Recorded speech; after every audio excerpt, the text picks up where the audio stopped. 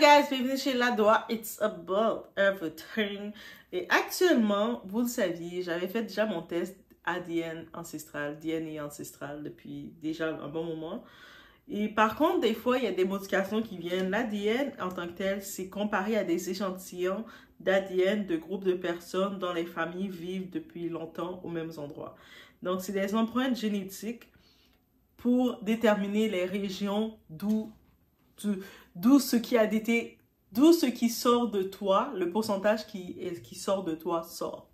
Donc, j'avais déjà fait mon premier ADN. Pourquoi j'avais envie de le faire, l'ADN ancestral?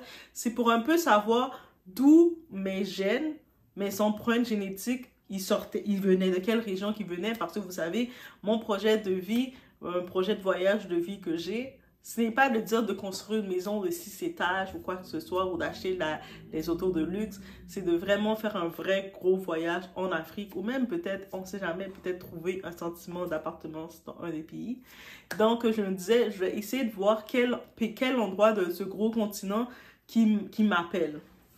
Et là, maintenant, j'ai vu dans, mon, dans ma messagerie de courriel une notification qui a dit qu'il y a eu des petits changements qui se sont ajoutés. J'ai fait « Ah! » Me rappelais que j'avais techniquement 13 régions. Là, j'ai vu qu'ils ont changé de 13 régions à 12, 12 régions. Donc, j'étais choquée. J'ai dit, c'est quoi qu'on m'a retiré? on m'a retiré des ancêtres. on m'a retiré, je suis plus complètement ce que j'étais. Et là, on va regarder le tout ensemble, guys. On va regarder le tout ensemble. On est chez la Dwight About Everything. On regarde maintenant les pourcentages qui ont été modifiés. Et là, j'ai passé de 13 régions à 12 régions. Je suis en train de diminuer ou quoi? Mais on y va. On va voir des petites surprises.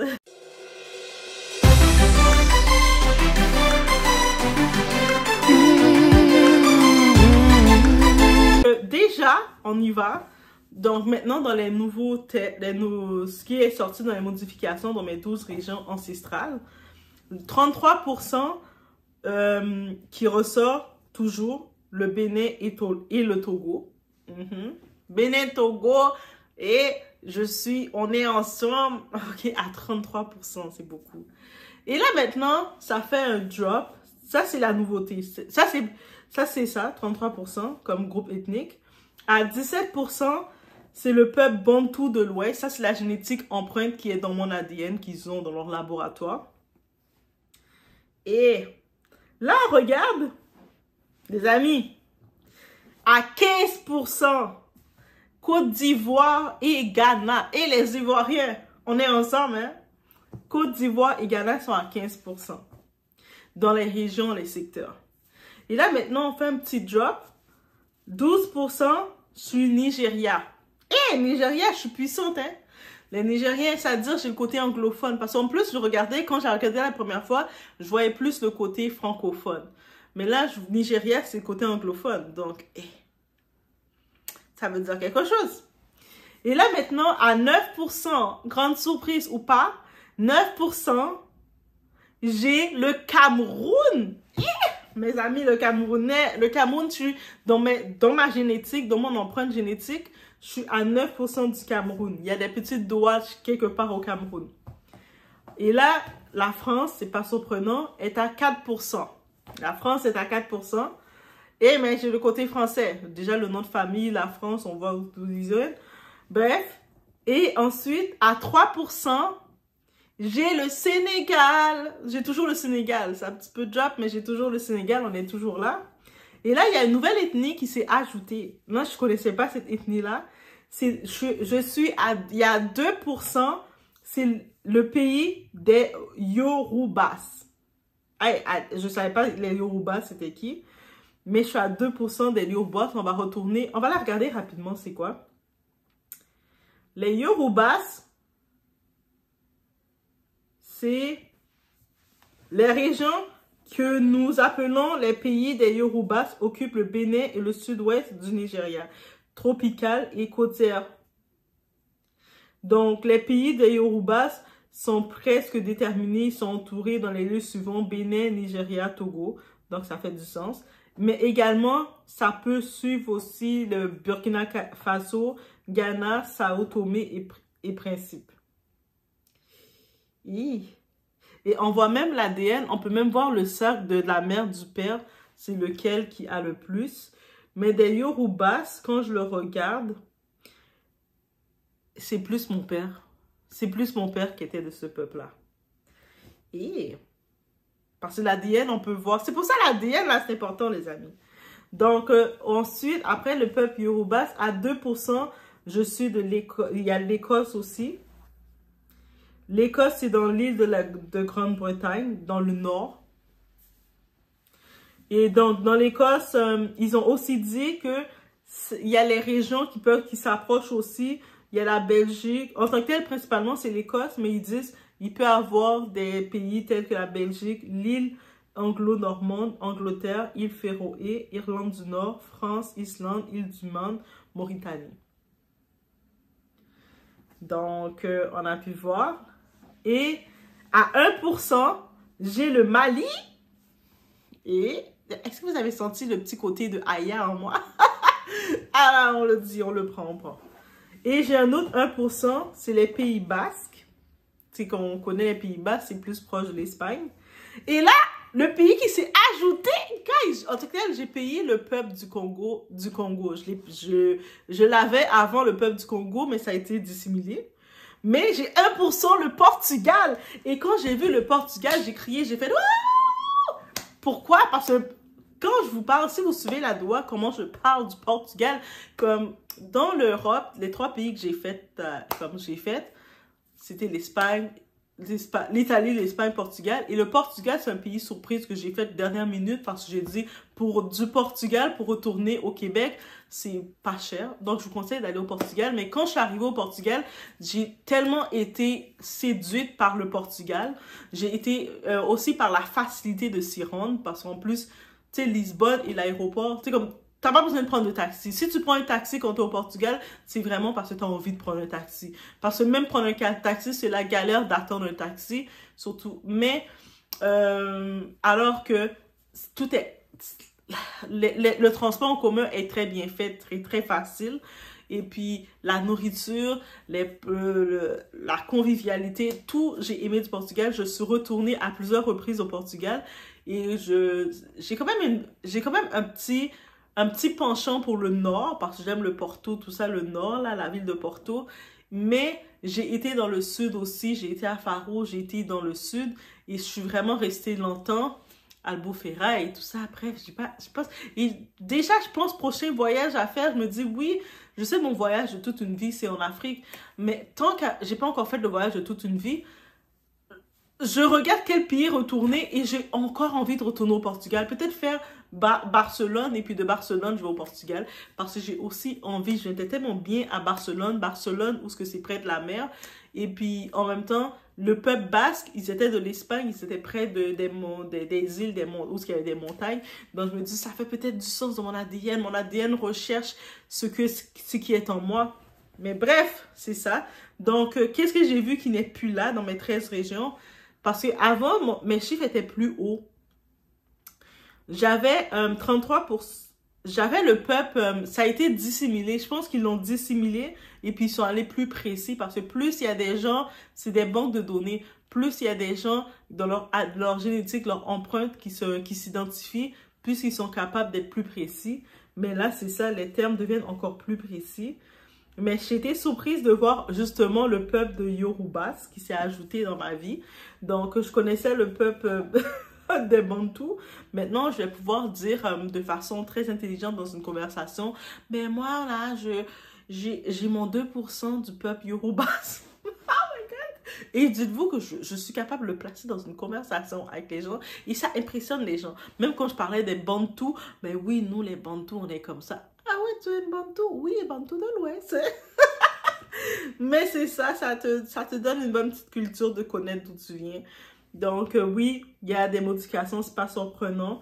Et j'ai vu que mes chiffres ont grossi, on, se sont plus déterminés. Pas qu'ils ont grossi. Je pense qu'au début, c'était plus vaste parce qu'il y a moins de données. Mais plus il y a des gens qui font les tests d'aînés, a plus de données, ils peuvent plus aller précis. Et donc, euh, donc c'est vraiment plus précis. C'est pas juste le peuple du Congo qui m'avait mis, ils m'ont mis maintenant précisément d'où. Et là, c'est pour ça qu'il y a les chiffres qui sont sortis, Côte d'Ivoire, Ghana, Nigeria. Et là, le Nigeria, il sortait pas, par contre. Et le Cameroun, directement, ne sortait pas non plus. Là, maintenant, il est sorti distinctement à 9%. Eh! Vous voyez pas en moi la camerounaise? Eh, c'est peut-être pour ça qu'on aime comme ça les Kango. Ça, nous. Le côté camer chez moi est pas ressorti encore. Juste l'accent qui ressort pas. Le petit accent camerounais qu'on aime tant, il ressort pas. Mais, ah! Les Congosas du, du Cameroun sont sortis. Euh, Côte d'Ivoire, le côté festif. Ah, tu, connais de chaque peuple. Là, maintenant, je commence à me regarder. Hmm. Par contre, Bénin, Togo, 33%, ils sont hauts. Ah, Bénin, Togo, vous êtes haut chez moi. On est là-dedans, on est là, on est là, on est là, on est là, le Bénin, Togo. En plus, j'avais vu quoi? Dernièrement, j'avais rencontré aussi des Togolais, un Togolais, puis on discutait. Et puis, il disait, oui, t'es ma cousine. Hein. J'étais comme, ah oui, j'étais ta cousine. Attends-moi. Bref. C'était mon petit update que j'apportais avec vous parce que c'était intéressant. Donc, euh, ça veut dire que je suis obligée de re-regarder encore mon itinéraire pour mon gros voyage, mon gros plan de voyage en Afrique. Parce qu'il y a des petites modifications là. Il y a des modifications. Mm-hmm. Il y a des, modifications à faire. Et euh, donc, au moins, quand j'allais au Portugal, j'allais dans mon, dans mon ADN. Ça fait partie, Portugal fait partie de mon ADN. Donc, j'allais retrouver mon ADN. donc, euh, l'Écosse, je ne connaissais pas plus l'Écosse, mais je sais que ça existe. La France, j'ai juste skip, faudrait que j'y vais un jour. Mais c'est plus le sud de la France que j'aime. Mais je pense pas que je suis dans le sud. On sait ça à 4%.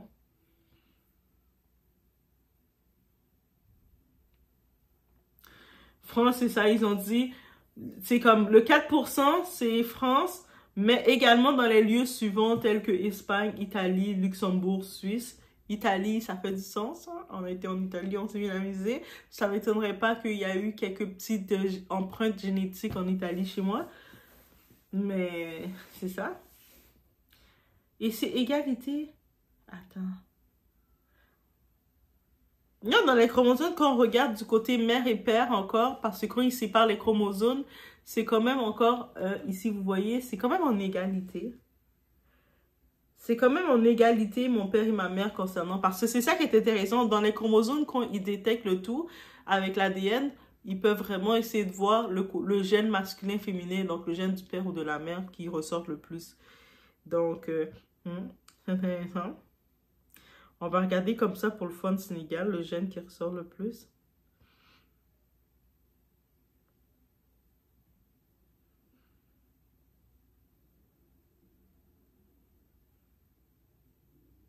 Non, ça c'est toujours en plus à prendre.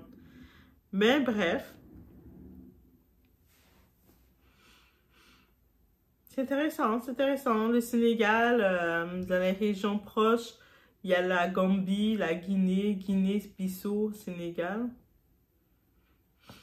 Hum, hum, hum,